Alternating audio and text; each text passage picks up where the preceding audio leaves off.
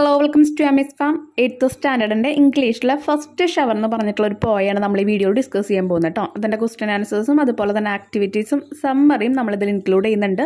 ബാക്കി എല്ലാ ചാപ്റ്റേഴ്സും നമ്മൾ എത്രയും പെട്ടെന്ന് അപ്ലോഡ് ചെയ്യുന്നതായിരിക്കും. നിങ്ങളുടെ ക്രിസ്മസ് എക്സാമിന്റെ ഒരുപാട് മോഡൽ ക്വസ്റ്റ്യൻ പേപ്പേഴ്സ് നമ്മൾ ഓൾറെഡി അപ്ലോഡ് ചെയ്തിട്ടുണ്ട് എല്ലാ സബ്ജക്റ്റിന്റെയും സോ അത് കാണാത്തവരുണ്ടെങ്കിൽ നമ്മുടെ പ്ലേലിസ്റ്റിൽ സെപ്പറേറ്റ് ആയിട്ട് ഇട്ടിട്ടുണ്ട്. അത് ജസ്റ്റ് വാച്ച് ചെയ്യാം കേട്ടോ. നമുക്ക് സ്റ്റാർട്ട് ചെയ്യാം. നമുക്ക് ഫസ്റ്റ് തന്നെ ഈ പോയറ്റിന്റെ സമ്മറി എന്ന് പറഞ്ഞാൽ ഇതിന്റെ ആശയം ഇതിൽ എന്താണ് പറയേണ്ടത്? ഇതിന്റെ ഒരു ആസ്വാദനക്കുറിപ്പിൽ നമുക്ക് സ്റ്റാർട്ട് ചെയ്യാം കേട്ടോ. എന്നാലേ നിങ്ങൾക്ക് ആ പോയം വായിക്കുമ്പോൾ എന്താണത് മീനിങ് ചെയ്യുന്നത് എന്ന് മനസ്സിലാവുള്ളൂ. സോ മലയാളത്തിലുള്ളതാണ് ഞാൻ കൊടുക്കുന്നത്. സമ്മറി ലാസ്റ്റ് കൊടുക്കുന്നുണ്ട്.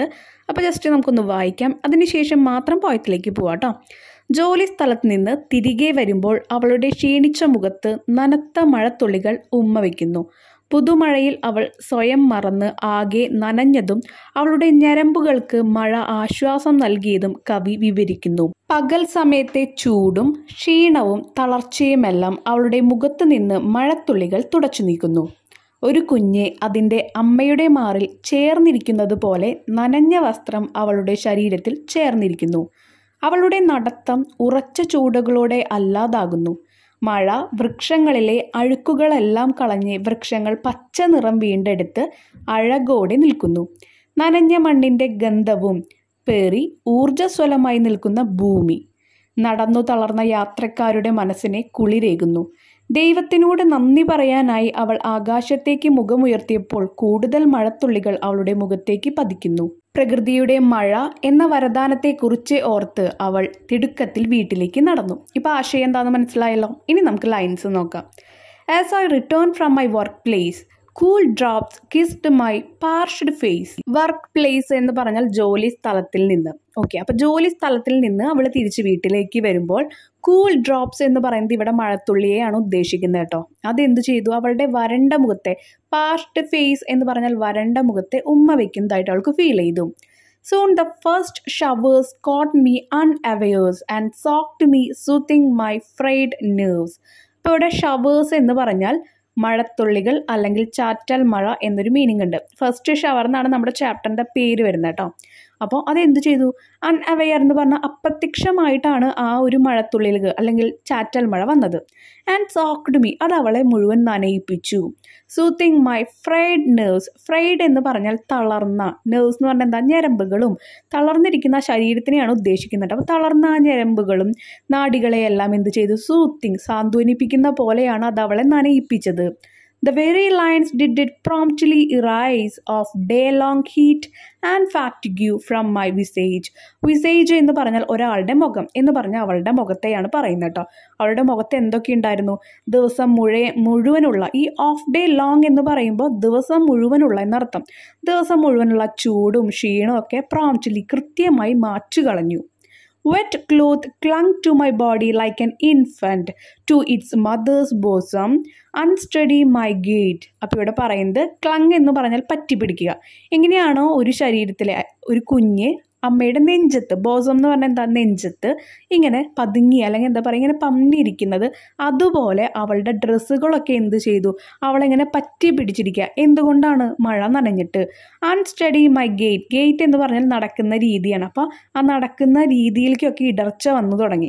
കാരണം എന്താണ്? മഴത്തുള്ളികൾ എന്ന് പറഞ്ഞാൽ മഴ ഇങ്ങനെ പെയ്തുകൊണ്ടിരിക്കുകയെന്ന് അപ്പോൾ നടത്തത്തിനൊക്കെ നമുക്കൊരു വ്യത്യാസങ്ങൾ വരും.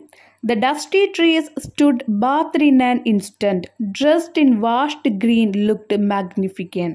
അപ്പോൾ ഇവിടെ പറയാം എന്താ? മാഗ്നിഫിഷ്യന്റ് എന്ന് പറഞ്ഞാൽ പ്രൗഢിയുള്ള. അപ്പോൾ അവിടെ ആ മരങ്ങളെല്ലാം ഈ കാറ്റത്തും പൊടിയിലൊക്കെ ആകെ ചെളി പുരണ്ടിരിക്കാവും അതെന്തു ചെയ്തു? അവർക്കൊക്കെ നന്നായി ഒരു ബാത്ത് കിട്ടി. ഒന്ന് കുളിക്കാൻ പറ്റി. അപ്പോൾ എന്ത് ചെയ്തു? ഈ കുളിയൊക്കെ കഴിഞ്ഞപ്പോൾ ഈ വെള്ളമൊക്കെ അവരുടെ ശരീരത്തിൽ വീണ് കഴിഞ്ഞപ്പോൾ ഈ ഡ്രസ്സൊക്കെ പുതിയ ഡ്രസ്സൊക്കെ ഇട്ടിരിക്കുന്ന പോലെ പച്ചിലകളൊക്കെ ഇങ്ങനെ തിളങ്ങി പ്രൗഢിയോടുകൂടി അവർ നിൽക്കുകയാണ്. The scented earth resplendent in dampened glory, sucked in dust, giving respite to the travelers weary. ഇവിടെ പറയുന്നത് സെന്റഡ് എന്ന് പറഞ്ഞാൽ അവിടുത്തെ സ്മെല്ല് സുഗന്ധത്തിനെ പറയുന്നതാണ് കേട്ടോ ആ ഒരു പരിമളം നമ്മൾ പറയുമല്ലോ സ്മെല്ല് അപ്പോൾ അത് ആ മണ്ണിന്റെ സുഗന്ധത്തിനെയാണ് പറയുന്നത്. Earth resplendent in diamond glory എന്ന് പറഞ്ഞു ഗ്ലോറി എന്ന് പറഞ്ഞാൽ ഐശ്വര്യം. ഈ മഴയിലൊക്കെ ഇങ്ങനെ നനഞ്ഞപ്പോൾ ആ നനവുകളൊക്കെ എന്ത് ചെയ്തു? നമ്മുടെ ഭൂമിയെ കുറച്ചും കൂടി തിളക്കമുള്ളതും ഐശ്വര്യമുള്ളതും ആക്കി. Sudden dust giving respite to the travellers weary respite എന്ന് പറഞ്ഞാൽ വിശ്രമം. അത് നമ്മുടെ ഇപ്പോൾ ഒരുപാട് യാത്രക്കാരുണ്ടാവുമല്ലോ ജോലിക്ക് പോകുന്ന ആൾക്കാരുണ്ടായിരിക്കും സ്കൂളിൽ പോകുന്ന കുട്ടികളുണ്ടായിരിക്കും അതുപോലെ വേറെ ഓരോ സ്ഥലത്തേക്കും യാത്ര പോകുന്ന യാത്രക്കാരുണ്ടാവും. ഓക്കെ അവർക്കൊക്കെ എന്ത് ചെയ്തു? അവർക്കൊക്കെ ഒരു വിശ്രമമായി ഈ ഒരു മഴ എന്ന് പറയുന്നത്. സക്ട് ഇൻ ഡസ്റ്റ് എന്ന് പറഞ്ഞാൽ പൊടിപടലങ്ങളും അതുപോലെ അഴുക്കുകളൊക്കെ ഈ മഴ എന്ത് ചെയ്തു? വലിച്ചെടുത്തു. To thank the rain god I looked up in the sky more drops drenched me on the sly അപ്പോൾ ഈ മഴ ഇങ്ങനെ പെയ്യുമ്പോൾ അവൾക്കതൊരു എല്ലാ യാത്രക്കാർക്കും വിശ്രമം വന്നു. അതുപോലെ അവളുടെ ആ ഒരു കാര്യം പറയുകയാണെങ്കിൽ ക്ഷീണം ചൂട് ഒരു ദിവസം മുഴുവനുള്ള ആ ഒരു ക്ഷീണം വയ്യായികളൊക്കെ എന്ത് ചെയ്തു? മാറ്റി ആര്? ഈ മഴ. അപ്പോൾ ദൈവത്തിനോട് ഈ മഴ തന്നതിന് നന്ദി പറയാൻ വേണ്ടിയിട്ട് അവൾ മുഖം ഉയർത്തിയപ്പോൾ എന്ത് ചെയ്തു? Drenched me on the sly sly എന്ന് പറഞ്ഞാൽ താഴെ എഴുതിയിട്ടുണ്ട് മര്യാദയില്ലാതെ പെരുമാറുക എന്ന് പറയുമ്പോൾ മര്യാദയില്ലാതെ പെരുമാറുക എന്ന് പറയുമ്പോൾ അവളിങ്ങനെ താങ്ക്സ് പറയാൻ വേണ്ടി മുഖം ഉയർത്തിയപ്പോൾ മഴ ഇങ്ങനെ പെയ്യല്ലേ? അപ്പോൾ അതിനെ ജസ്റ്റ് ഒരു വാക്ക് കൊണ്ട് പറയുന്നതേ ഉള്ളൂ കേട്ടോ. അപ്പോൾ അവളുടെ മുഖം മൊത്തം എന്ത് ചെയ്തു? ഡ്രഞ്ച്ഡ് നനഞ്ഞു. marveling at this wonderful gift of nature. I hurried home, wading through the gurgling water. അപ്പം നമ്മുടെ ഈ പ്രകൃതിയുടെ ഒരു വരദാനമായത് ഒരു ദാനം അല്ലെങ്കിൽ എന്താ ഒരു ഗിഫ്റ്റ് ഒരു സമ്മാനമായിട്ടുള്ള ഈ മഴ കണ്ടപ്പോൾ ഒരുപാട് അത്ഭുതമായി അവൾക്ക് മാർബലിങ് കാരണം എന്താ അത്രയും ക്ഷീണത്തോടു കൂടി വരികയായിരുന്നല്ലോ. അത് ഭയങ്കര ഒരു വിശ്രമം അതുപോലെ തന്നെ ഒരു സുഖം ആയിട്ടുള്ള ഒരു അനുഭവമാണ് അവൾക്ക് കിട്ടിയത്. പക്ഷേ I hurried home wading through the gurgling gurgle എന്ന് പറഞ്ഞാൽ നമ്മൾ ഗർഗിൾ എന്ന് പറയുമ്പോൾ ആ വെള്ളത്തിന്റെ ശബ്ദത്തിനെയാണ് ഈ ഗർഗിളിങ് വാട്ടർ എന്ന് പറയുന്നത് വെള്ളത്തിന്റെ ശബ്ദം അത്രയേ ഉള്ളൂ. അപ്പോൾ അവൾ എന്ത് ചെയ്തു? ഈ വെള്ളത്തിന്റെ ആ ഒരു ഗർഗിളിംഗ് ഒക്കെ കേട്ടിട്ട് അതിനുള്ളിലൂടെ ധൃതിപ്പെട്ട് അവൾ വീട്ടിലേക്ക് പോകുക കാരണം എന്താ? മഴ മാത്രം ആസ്വദിച്ച് നിന്നാൽ പോരല്ലോ വീട്ടിലേക്ക് എത്തണമല്ലോ വെയ്ഡിങ് എന്ന് പറഞ്ഞാൽ തുഴയുക. എന്ന് പറഞ്ഞാൽ മഴയത്ത് നടക്കല്ല? അപ്പോൾ അതിനെ തുഴയുക എന്നുള്ളൊരു വാക്ക് കൊണ്ട് വിശദീകരിക്കുന്നതിനുള്ളൂ മനസ്സിലായല്ലോ? ഇനി നിങ്ങൾ ഒന്നും കൂടി ആശയം എടുത്തൊന്ന് വായിച്ചു നോക്കിയാൽ വളരെ കറക്റ്റായിട്ട് നിങ്ങൾക്ക് മനസ്സിലാവും കേട്ടോ ഇനി നമുക്കതിലെ ക്വസ്റ്റ്യൻ ആൻസേഴ്സും ആക്ടിവിറ്റീസും ലാസ്റ്റ് ഇതിന്റെ സമ്മറി നോക്കാം. First question how does the train soothe the poet നെവ് എങ്ങനെയാണ് ആ പോയറ്റിന്റെ ഞരമ്പുകളെ? സൂത്ത് എന്ന് പറഞ്ഞാൽ എന്താ? സാന്ത്വനിപ്പിച്ചത് ഈ മഴ. The rain soothes the poet by getting rid of heat and fatigue ആ ഒരു ദിവസമുള്ള ക്ഷീണം ചൂട്. ഫാറ്റിഗ്യൂ എന്ന് പറഞ്ഞാൽ ക്ഷീണമായിരുന്നു. ഹീറ്റ് ചൂട്. ഇതെല്ലാം റെഡ് ചെയ്യാന്ന് പറഞ്ഞാൽ എന്താ? ഇതെല്ലാം മാറ്റി കൊടുത്തു. അങ്ങനെയാണ് ആ മഴ ആ പോയറ്റിനെ സാന്ത്വനിപ്പിച്ചത്. Why do the trees look magnificent എന്തുകൊണ്ടാണ് ഈ ട്രീസ് എല്ലാം ഇത്ര പ്രൗഡി ആയിട്ട് തോന്നിയത്? The rain washers the leaves of the trees and the trees look magnificent and shining ആ മഴ എന്ത് ചെയ്തു? ആ ഒരു മരങ്ങളിലെ ഇലകളും അതുപോലെ തന്നെ ബാക്കി എല്ലാ പാർട്സും വാഷ് ചെയ്യുക എന്ന് പറഞ്ഞ് അവർക്കൊരു ബാത്ത് കിട്ടിയെന്ന് പറയുന്നുണ്ട്. അപ്പോൾ ഇതെല്ലാം കഴുകി കൊടുത്തപ്പോൾ എന്ത് തോന്നി? എല്ലാ മരങ്ങളെയും കാണുമ്പോൾ ഒരുപാട് പ്രൗഡിയും തിളക്കവും തോന്നി. Third question what do the travellers feel when it rains എന്താണ് യാത്രക്കാർക്ക് മഴ പെയ്തപ്പോൾ തോന്നിയ അനുഭവം? ദേ ഫീൽ റിലീവ്ഡ് അവർക്കൊരു ആശ്വാസമാണ് തോന്നിയത്. ഇത് ഈ പോയത്തിൽ പറയുന്ന കാര്യമാണ് കേട്ടോ. ചില ആൾക്കാർ ചിന്തിക്കുന്നുണ്ടാവും മഴ പെയ്യുമ്പോൾ അത് ചില ആൾക്കാർക്ക് ഇഷ്ടമില്ലാത്ത ആൾക്കാരുണ്ടാവും. വളരെ ചുരുക്കം ആൾക്കാർക്ക്. കാരണം എന്താ? ഈ ചെളി വെള്ളം ഇതിലൊക്കെ നടന്നു പോകുന്നുണ്ടേ. അതുകൊണ്ട്. സോ ഫോർത്ത് ക്വസ്റ്റ്യൻ നോക്കാം. Comment on the expression drenched me on the sly നമ്മൾ ലാസ്റ്റ് പാരഗ്രാഫിൽ കണ്ട ലൈനാണ് കേട്ടോ. നമ്മൾ പറയുന്നുണ്ട് മര്യാദയില്ലാതെ മഴ എന്ത് ചെയ്യുന്നുണ്ട് അവളുടെ മുഖത്തിനെ നനയ്ക്കുന്നുണ്ട്. താങ്ക്സ് പറയാനായിട്ട് ദൈവത്തിനെ നോക്കിയപ്പം. അപ്പോൾ ഈ എക്സ്പ്രഷൻ ഈ ഒരു വാക്കിന്റെ മീനിങ് എന്താണെന്നാണ് ചോദിക്കുന്നത് the poet is completely drenched by the mischievous rain drop mischievous എന്ന് പറഞ്ഞാൽ കുസൃതി കാട്ടുന്ന ആ മഴത്തുള്ളികളെ കുസൃതി കാണിച്ചതാണല്ലോ അങ്ങനെയായിട്ടാണ് പറയുന്നത്.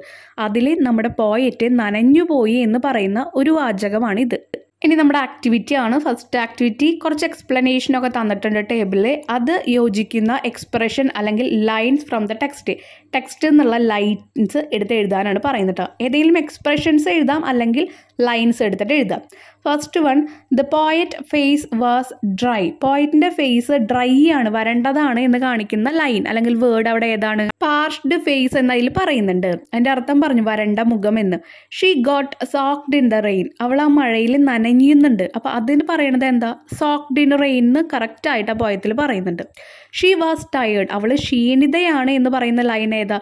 Weary lines day long heat and fatigue രണ്ട് ലൈൻസ് ഉണ്ട്. വിയറി ലൈൻ സ്റ്റാർട്ട് ചെയ്തിട്ട് രണ്ടാമത്തെ ലൈനിൽ day long heat and fatigue എന്ന് പറയുന്നുണ്ട്. ആ ദിവസം മുഴുവനെയുള്ള ക്ഷീണം ചൂട് ഇതൊക്കെയാണ് അവൾ ടയേർഡാണ് ക്ഷീണിതയാണ് എന്ന് കാണിക്കുന്നത്.